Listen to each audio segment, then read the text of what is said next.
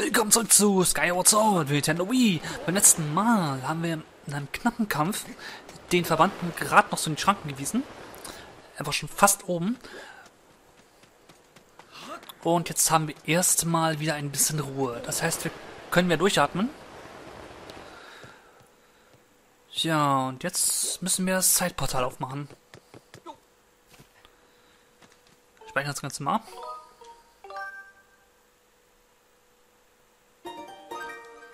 Perfekt. Und die Medizinmedaille hat ganze Arbeit geleistet. Also schon mal danke für den Tipp. Sie ist mir gerade eine sehr, sehr große Hilfe. Also nicht nur die Medizinmedaille, sondern auch die Person, die mir den Tipp gegeben hat. Komme ich da runter? Na, Lust Herzen. Oder vielleicht noch mehr. Ich muss gerade mal schauen. Nein, anscheinend gibt es hier nicht mehr. Ich hätte gedacht, hier wäre noch was, aber nee. Hier ist nichts. Und ich vergesse jedes Mal, weil ich es gewohnt bin, den Paraschall zu aktivieren. Ich bin jedes Mal das Rollen gewöhnt, aber ich mach's irgendwie nicht. Beziehungsweise stattdessen, ach egal. Rein ins, in den Siegelhain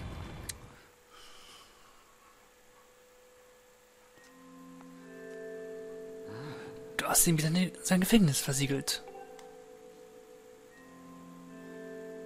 Link. Mit Bardos Hilfe. Ihr beide zusammen.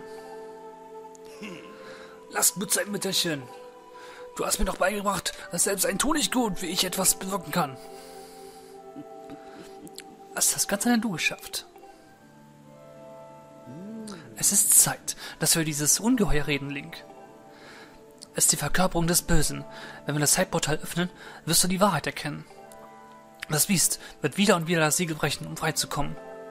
Wir müssen seinen Ursprung zerstören, sonst wird es uns immer wieder bis heimsuchen. Schnell, Link, konzentriere. Konzentriere die Force in deinem Schwert und richte den Himmelstrahl auf das Zeitportal.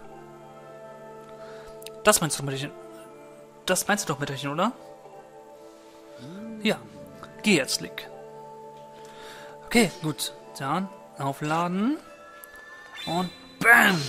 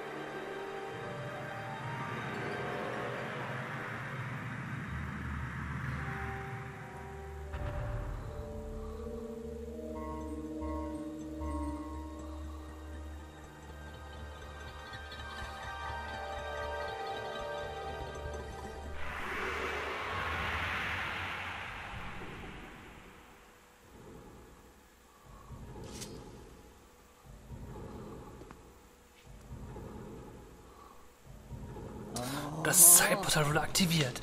Du musst dich nicht fürchten, Link. Dieses Portal führt weit zurück in die Vergangenheit. Es verbindet dich über Zeiten hinweg mit Zelda. Geh, durchschreit das Portal und du bist am Ziel einer langen Suche.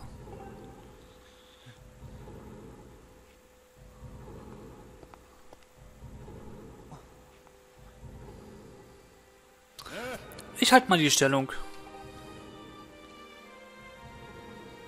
Das Mütterchen sagt ja ständig, dass das Ungeheuer wiederkommt. Und dann muss ja jemand seine Abreibung verpassen. Darauf muss ich mich vorbereiten. Und wer soll's denn, wer soll sich sonst um das Mütterchen kümmern? Außerdem...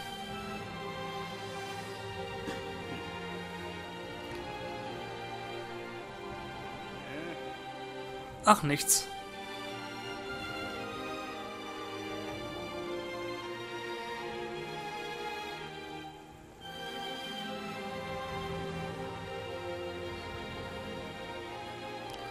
Zelda von mir, Link.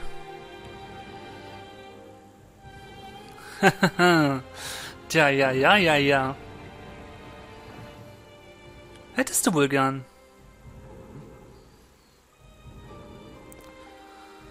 Glaube, Zelda lebt nur einen einzigen. Und wir wissen, glaube ich, alle, wer das sein könnte.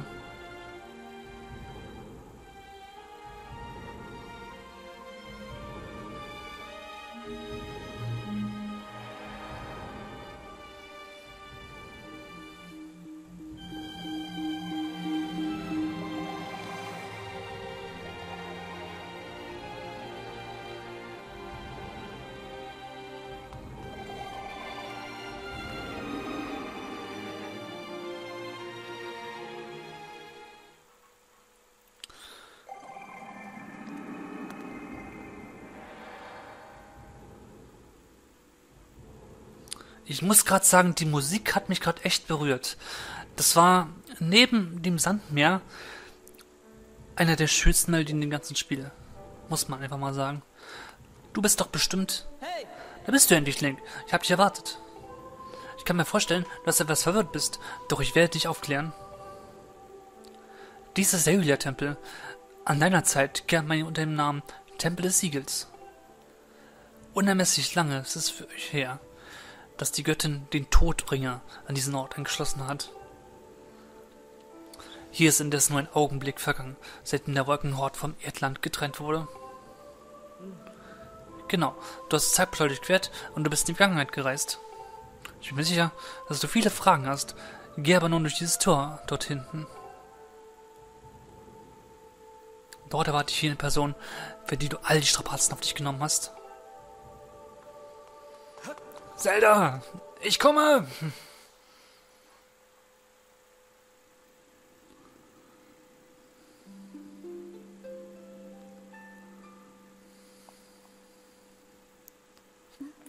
Endlich bist du hier, Link.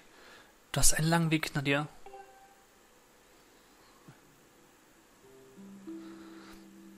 Immer dir sicher gesagt, wo wir sind, oder? Das ist die ferne Vergangenheit. In dieser Zeit leidet das Land noch unter der Verwüstung des Kampfes zwischen dem Todbringer und der Göttin. Die Legende, die man sich darüber in Wolkenhort erzählt, ist nicht irgendein Märchen. Es ist wirklich so geschehen. Lass mich dir alles erklären.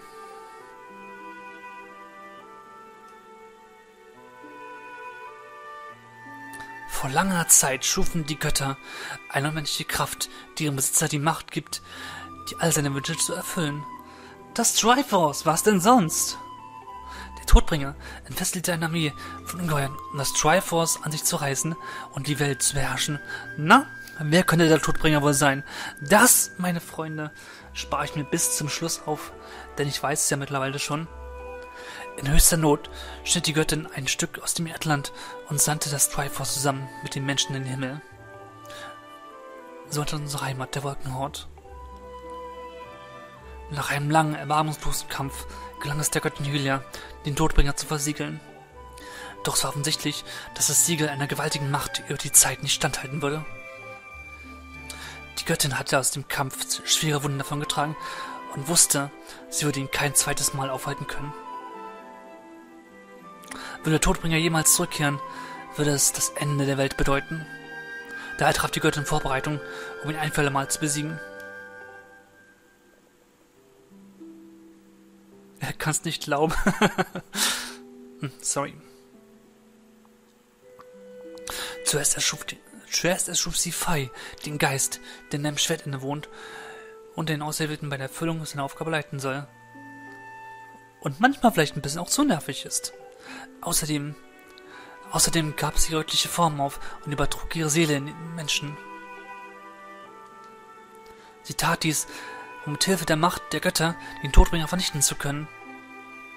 Denn wenngleich es von den Göttern erschaffen wurde, können sie selbst die unendliche Kraft des Drivers nicht nutzen. Daher gab die Göttin ihre göttliche Kraft in ihren unerbittlichen Körper auf. Du hast es hier schon verstanden, Link. Du bist der Auserwählte. Und ich, Zelda, ich bin als, die als Mensch wiedergeborene Göttin Hylia.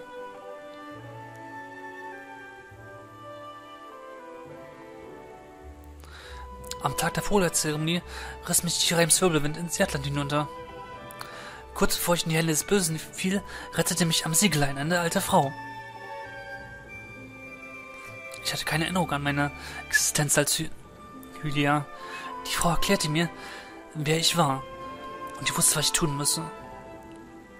Bin zu jedem Tempel gereist, um von den Statuen der Göttin zu beten. Ich erhielt mein Gedächtnis zurück. Impa, als Dienerin der Göttin, führte mich und brachte mich schließlich in die Vergangenheit. All dies, um die Rückkehr des Todbringers zu verhindern. Link. Das Siegel hat ihm seine wahre Gestalt genommen. Daher scheint er als Shakis Ungeheuer mit dem Namen der Vermannte. Aber auch so ist er ohne weiteres in der Lage, die Welt zu zerstören. Wir müssen um jeden Preis verhindern, dass der Todbringer dem Siegel entkommt. Ich werde hier in dieser Zeit das Siegel stärken so werde ich ihn unsere Zeit versiegeln halten können. Das Siegel, das Hylia, das ich geschaffen habe, ich muss so lange wie möglich aufrechterhalten. Nun, da ich meine Augen zurückgehalten habe, erkenne ich, dass dies meine Bestimmung ist. Die Göttin hat die Fei und dieses Schwert aus einem ganz bestimmten Grund anvertraut, Link. Das riesige Ungeheuer, gegen das du in unserer Zeit gekämpft hast, das war der Todbringer. Du hast ihn mit dem Schwert bereits in zwei Kämpfen zurückgeschlagen. Dafür kann ich dir gar nicht genug danken, Link. Auf deiner langen Reise hast du viel erreicht. Weisheit durch das Lösen von Rätseln. Kraft durch zahlreiche Kämpfe. Mut durch das Bestehen der Prüfungen der Göttin. Du bist nun würdig, das Erbe der Götter, das Triforce zu führen.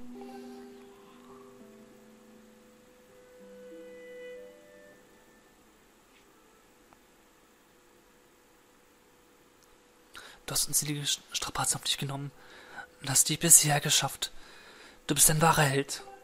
Als Anerkennung deiner Kraft, deines Mutes, deiner Weisheit verleihe ich dir Träger des Schwertes der Göttin eine große Kraft.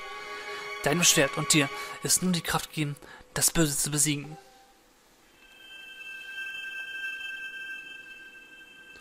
Diese leuchtenden Zeichen auf deinem Handrücken, das ist der Beweis, dass du der Held bist, der die heilige Kraft in sich trägt. Dieses Zeichen ist das Symbol des Triforce. Komm, so ziehe, so ziehe nun dein Schwert, Link.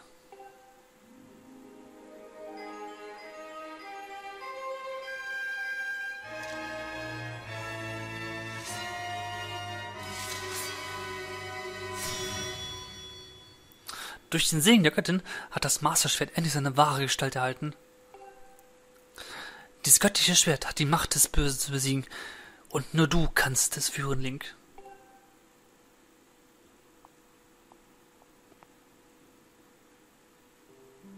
Link, ich muss mich bitte entschuldigen. Das Symbol, das Triforce auf meiner Hand, ist das Zeichen unendlicher Kraft. Wenn du das Triforce findest, können wir mit Hilfe und seiner für den Todbringer vernichten. Aber nur jenen wenigen, die einen wahrhaft starken Geist besitzen, ist gestattet, diesen, diese Macht einzusetzen. Niemand weiß, warum die alten Göttin das Triforce erschaffen haben. Ich habe viel darüber nachgedacht. Die Götter haben es erschaffen und es gleichzeitig so eingerichtet, dass sie selbst es nicht nutzen können. Vielleicht wollten sie auf diese Art und Weise den sterblichen Wesen des Landes keine Götter sind, Hoffnung geben? Ja, so wird's gewesen sein. Hülle benötigt einen Auserwählten, mit einem starken Geist, der der Welt Hoffnung bringt und den Todbringer vernichtet. Dich. Aber um die Kraft einsetzen zu können, dafür musst du viele Prüfungen bestehen und zum Helden werden. Die Göttin Hylia wusste. Ich wusste.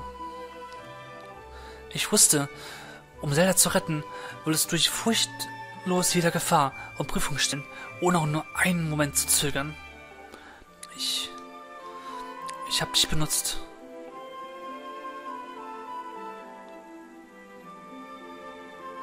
Es tut mir leid, dass ich dich in alles verwickelt habe. Aber das ist ein Kampf, von dessen Ausgang das Schicksal der gesamten ganzen Welt abhängt. Ich brauche deine Kraft, um ihn für uns zu entscheiden.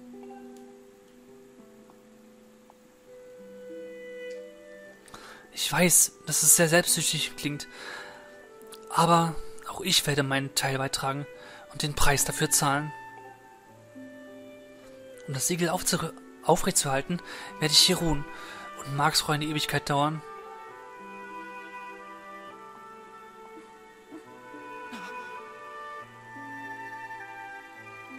Link, es tut mir leid.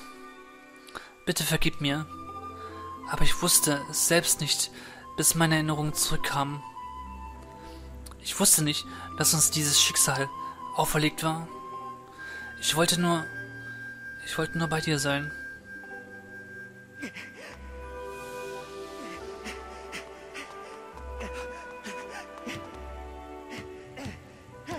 Link, ich mag zwar die Wiedergeburt der Göttin sein, bin noch immer die Tochter meines Vaters und deine Freundin seit Kindheitstagen. Zelda, wie du sie kennst.